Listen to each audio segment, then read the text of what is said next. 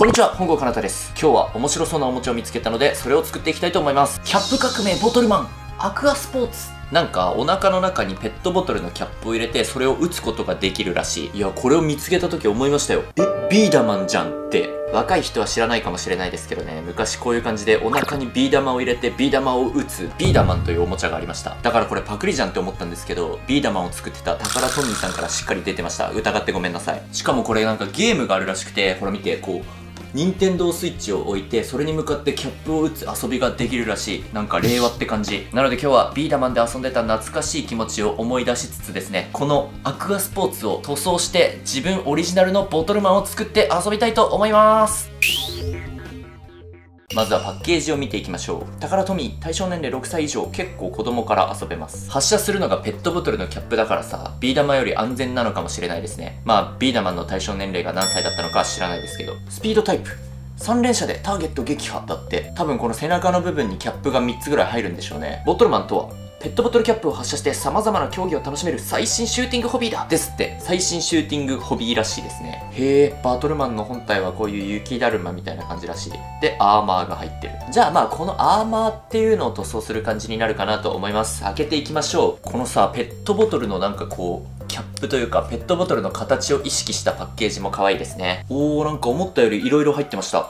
アーマー類がたくさんと、シールも結構いっぱいありますね。そしてなんかかっこいいキャップがついてきた。説明書はこんな感じ。なんか組み立ての工程は結構複雑かなって思いますね。じゃあ説明書通りにね、組み立てていきましょう。プラモデルと違ってニッパーとかは必要ないみたいです。まず腕のパーツ。ここにね、ローラーっていうのを挟むらしいです。ベアリングの役割だね。こんな感じでキャップを挟み込んで発射するんだと思います。この鳥がめちゃくちゃ懐かしいですね。もう完全にビーダマンじゃん。はいはいはい。このスプリングのおかげで押しても戻ってくると。え、面白い。頭にはこうやってキャップが取り付けられるらしいです。好きなドリンクのキャップにできるね。ヘッドアーマーを装着。おー、かっこよくなった。腕にもアーマーを装着。反対側も装着。おー、いい感じ、いい感じ。そしてこの背中にロングマガジンをセット。これで連射ができるようになるってことですね。おー、形が完成しました。マジでビーダマンだ。懐かしすぎる。で、この後、このシールをね、たくさん貼ってあげて、かっこよくしてあげるっていう感じみたいです。ちょっととりあえずさ、どんなもんか発射してみましょうよ。多分ここに入れる。あすごいここに一気にセットされた。じゃあ撃ってみます。あ、思ったより結構強いな。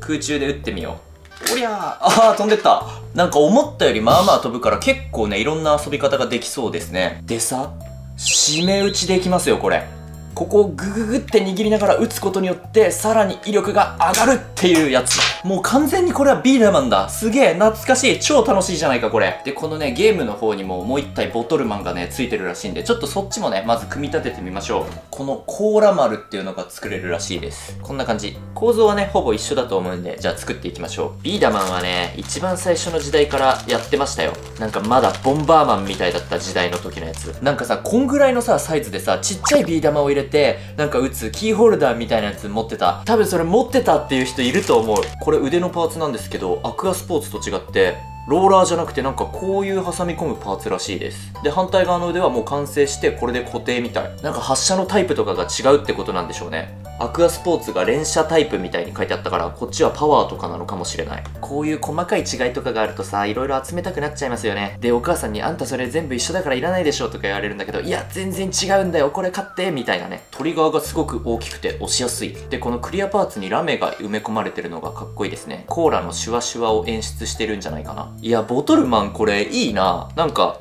軽い気持ちで買ったけど今すごくワクワクしていますよ僕は。キャップはゴールド。コーラ丸。さあ完成しました。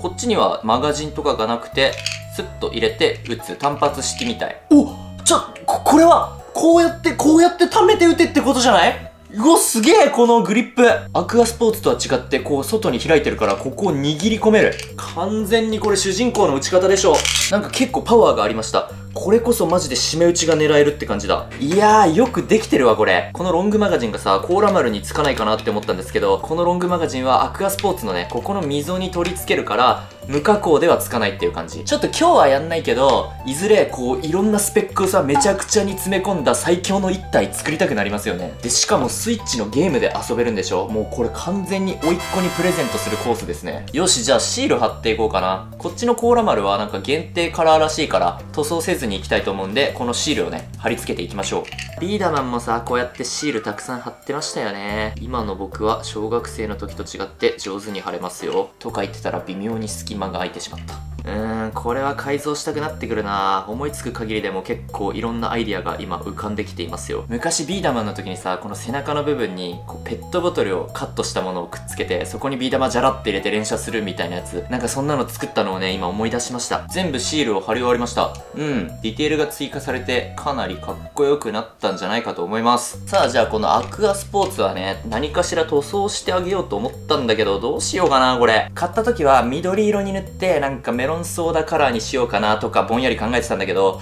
いや、とにかくね、早く遊びたいから、ちょっともうこのシールを活かす方向にします。本気でマスキングとかをするとね、結構何時間もかかっちゃうんで、もう軽くメタリックだけ吹いてきて、その上にこのシールを貼って、もう完成させてすぐ遊びたいと思います。このパーツはキャップを発射するときに結構いろんなところにね、擦れてしまうと思うんで、ここは塗らずにいきます。じゃあ塗装するパーツを洗いましょう。では、水を張った超音波洗浄機にパーツを入れます。浮いてきちゃうんで蓋をしますと今日の塗装はね本当にもうサクッと色を塗るだけにしますもう早く遊びたいいずれ改造とかする機会があったらその時に色々しっかりと塗り分けとかしようかなって思いますねお洗浄が終わった待ち時間にね、このなんかボトルターゲットっていうのを作ってたんですけど、完全にザク。じゃあこの洗ったパーツは一旦乾かして、その後に塗装に移ります。まずは下地を拭いていきます。使うのはミスターサーフェイサーの旋盤。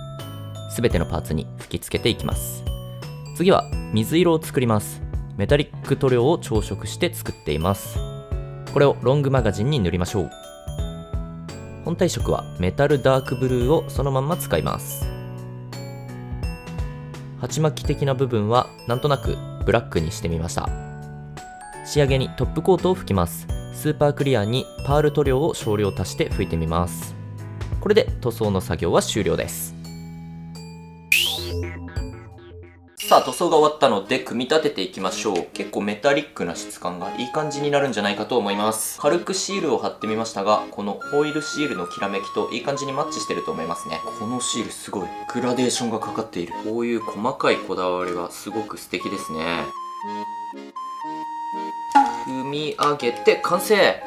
おー結構いいんじゃないですか？このメタリックな質感が。うん、塗装がいい感じだと思います。並べてみると、メタリックな感じとクリアな感じで、両方ともね、違ったかっこよさがあると思います。じゃあこの辺のね、スタジアムってやつを組み立てて遊んでみたいと思います。さあ結構な距離が必要だったんで別のテーブルに移動しましたミニゲームやってみよう左側を狙ってさいやおすげえちょっと当たってるけどね。とまあひとしきり遊んできましたわ。まあまあ楽しかった。なんか子供の頃を思い出して懐かしい気持ちになりましたね。ということで今日はボトルマンを作って遊んでみました。今日もご視聴くださりありがとうございます。よかったらチャンネル登録や高評価のほどよろしくお願いいたします。じゃあバイバイ